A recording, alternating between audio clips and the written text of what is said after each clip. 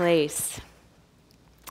Wendell Berry, who's an author and a poet and a farmer, has a famous quote that goes If you don't know where you are, you don't know who you are.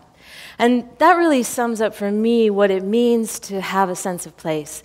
It's the intersection of where knowledge and information and data and history intersects with personal story, emotion, memory, feeling, and experience. I think that, nav- that, that sense of place can really be thought of also as a navigational tool. That it's a way to learn about places through the information that we learn. We kind of see where we are by that information. And we learn about who we are. It's a tool of self discovery.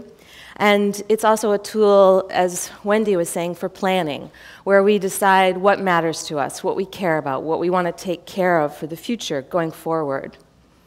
Um, I think that, you know, if you're, if you're new to a place, you can root yourself. You can, you can find a way to heal some of the disconnect that we experience in our society and our world. You can root yourself in these layers of time and history and personal story and experience. You can find the layers, and they're an anecdote to many of the fears and worries and concerns that we experience in times of great crisis and change. You can really root yourself in a place and find those layers. So I've had the fortune to work with people across the country. I'm really interested in your stories of place and belonging and connection. And I teach um, workshops that help people sort of pull on the threads of time and story and discover them. So I'm remembering one time when I was teaching this workshop, and there was a woman who you know, I have people write about what's going on in your life, your personal sort of what's, what's the viscosity of your life. And she was writing about how everybody needed something from her. Her mother was sick and she was driving back and forth. Her husband um, needed her attention, her kids, you know, they had homework, and everyone needed her time and attention. And then I asked her to write about a place that's meaningful to her. And she wrote about in the mornings how she would slip out early from the house and she would walk down the field to the, to the barn where she had a, a cow, a dairy cow. And in the morning, the sunlight would be shafting in, you know, through the window and that sort of golden stream of light the way it does. And she would take her stool and she would pull it up to the cow. And she would lean, she would take the udders and, you know, they would splash into the milk pail, making that sound. And she would just sort of milk the cow and she would lean in, and the cow would take her weight. And I just think in our lives, we need those moments, those experiences where we can lean in and something can take our weight. And I find that in finding my sense of place and capturing those moments um, of experience that root us to who we are and to where we are. Um, otherwise, we're just living life sort of at the pace of a GPS. We're moving from point A to point B. It's functional. We're getting places. We're doing things. But when you slow down and you tap in, you hear the stories and the music of the places that you inhabit. So you, you can also learn so much about where you are. You can learn about the history, you can learn about the nature. I'm remembering a time when I, I was at a workshop and, I, and they said, Oh, John is going to go outside and give us a talk about the stars. And he started to tell us the stars, and he would point out a constellation. And then he would go into so much more depth and detail that, that I had ever experienced. And I just had to ask him, How did you learn about the stars in this way? And he said, Oh, I spent my life at sea. I was a longshoreman. And way back when, we navigated primarily by the stars. And I just thought that is such an intimacy with place. And there's so many ways to have that intimacy um, as you learn more and more about the nature and the history and the culture. But you don't need to know anything. You can simply experience a place through your senses. Um, last summer, I was invited up to the um, to, to Wisconsin to work with the Fish and Wildlife Service the Upper Mississippi Fish and Wildlife Refuge, to help visitors find their stories of connection to places. And so this was a group, they had me work with a group of third graders who were from the La Crosse region. Although I was told that many of them had probably never been out on the river, even though they lived near it. And so we all boarded a boat on the Mississippi River, and we crossed the, the river, the working river, as they call it, with the barges that you could see going up and down. And we left the skyscrapers of La Crosse behind, and we sort of came across the river and we went around to this slough, and we saw an osprey nest. We talked about how that's a home for the birds for the ospreys. And then we saw, you know, a great blue heron take off and how it that was its home and it lived there. And then we kind of came around a corner and, you know, the city was very far behind and it just you looked out and it was green and vibrant and beautiful and it was um, it was like you could have been, you know, Lewis and Clark. It was, it was wild. And, and, um, and we talked about the, the Beaver Lodge and how that was a home. And I have the kids come out on the boat in small groups and go through a practice I call um, checking your earth mail, which is just sort of tapping into all the sensory information you receive coming in. So I say, you know, what do you smell here? What do you see here? What do you, what do you, what do you hear? And then, most importantly, I think, I have them place their hand over their heart, like Pledge of Allegiance style, and say, What do you feel here? And one by one they answered, I feel calm. I feel happy. And then one little boy, I could tell he was the shy one, had the thick rimmed glasses and messed up hair and jacket, and, and he said, I feel like I belong. And I just think that's why I do this work, and a lot of others I know who do sense of place work or anything that has to do with connecting people and places, is to foster that sense of belonging. And that that is the foundation for making the choices for the future that we want to make for the stewardship, preservation, and planning of our natural and wild places. So, I think that the slowing down and tapping into these moments, these, this knowledge, these stories, that is the key. That is the, it's the sensitivity to places that is the key to our future.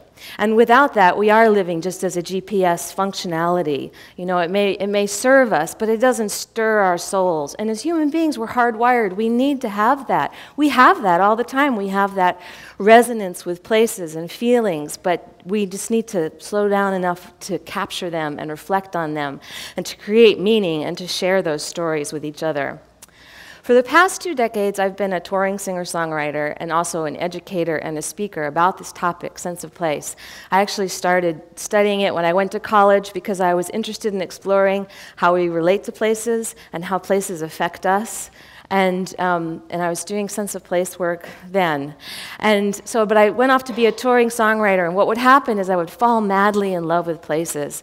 I have sort of, as, as Daniel mentioned, I sort of love to be a sense of place sleuth, and I think this is something I learned from my father, who loved to take us out into the country and sort of take us to a small town and you know ask us why is this why is this town here? What's the um, the industry that it that it created? What's the, why is the railroad here? And what do you think the river brought in? So he was sort of mentoring me in how to inquire about why a place exists. And then he also loved to just take us to, you know, like I grew up in Maryland, so he would take us to Civil War battlefield grounds, and he would raid, he would go on and on about the battles that had once raged. And um, it was kind of, you know, when you're a little kid, it's kind of like boring, and you, you've been lured there by the promise of ice cream, and he's giving a history lesson. Um, but when I look back in retrospect, I'm so glad that when I was curious about learning more about the Civil War and some of the stories, that I had a sensory memory, I had a place memory of what that what that was like. Um, so even though I, I didn't fully appreciate it then, it's, it, it really created something of who I, who I am. Um, so touring, yeah. So I would come to these places, I would fall in love with them, and then I would return and I would see that they had changed. And I thought at the time that I thought they must, people must be really disconnected with what's so special about this place, or they never would let that happen. I can remember one place in Wyoming. There was this beautiful, you know, I came over this mountain ridge down the mountain into this beautiful open valley. It must have been someone's ranch. It was huge, but it was just open. And then just two years later, I returned and I saw the valley had been sprinkled in by what they call ranchettes. And what it did was change the music of that place. Um, and so I wanted to sort of help, not just be an entertainer, but help people find their stories of, of connection to places. And I feel like those stories are the tipping point. They are what bring us from, well, let me back up and just say I know it takes time and money and energy and focus to um, protect places or conserve them or make choices. But it also takes heart and passion and vision and story. And that without those stories, it's just a functional place. So it's inhabiting our places with the stories that have meaning to us, that, that fuel us. I mean, stewardship can sound like a lot of hard work. It is hard work, and it takes, it takes years. And when we get overwhelmed with that hard work and all the energy and time and focus it takes, what brings me back to center, what inspires me, what fuels me, is these stories of connection to places. Um, and so it's something that can give us energy and realign us. And I also feel like, you know, there's so many problems in the world, huge and small, and crisis is in our face every day. And that what brings me back to feeling good is looking at what we have in our lives that's here, that's left to love, to take care of. And so to go forward and focus on what it is that we love is, is going to give us the energy to actually do that. Um, so, what I want to inspire you to do, and when you leave here, is to um, is to be a sense of place sleuth, to look at the layers of history wherever you are and see how that can root you. To step out your door, not just rushing around, but a moment where it's almost like every day can be a pilgrimage. Um, you can tune in and tap into what, um, to what draws you around you.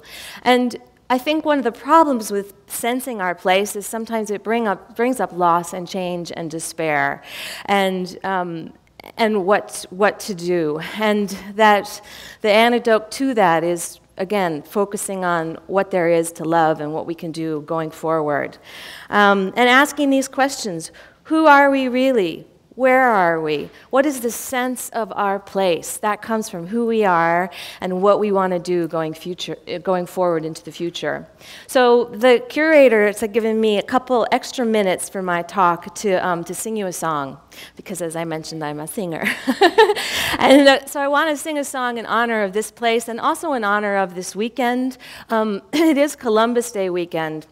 And I want to just begin this segment with a, a, poem, a line from a poem by a woman from a, a tribe in, in Virginia, Karenne Wood. And she says about, she says, nothing here was discovered. Everything was already loved. And so these mountains here were loved by people for thousands of years, for hundreds of generations. I have only been here a short time. My family, my people go back three generations in where I'm from. But I know that throughout time, these places have been loved. And so others have loved these autumn colors and these beautiful autumn days, just as you and I. So, in honor of the history and the nature and the layers of time and all our stories that create this sense of place, I'm going to sing Quiet Hills, which is a song by Claudia Schmidt. And it goes like this. There is a darkness in these hills, I am not afraid. There is a darkness in these hills, I am not afraid. And there is a darkness in these hills, though some may tremble, I am still. No, I say, hope lives in these quiet hills. And there is a darkness in the land, I seek the taste of hope. There is a darkness in the land, I seek the taste of hope. And there is a darkness in the land with more sorrow than we can stand. But I say, hope lives in these quiet hills. And there is a darkness in my heart. The taste of hope is sweet. Yeah, there is a darkness in my heart. The taste of hope is sweet. And there is a darkness in my heart, but I can feel the healing start. Cause I say, hope lives in these quiet hills. Yeah, hope lives in these quiet hills. Mm, hope lives in these quiet hills. Thank you.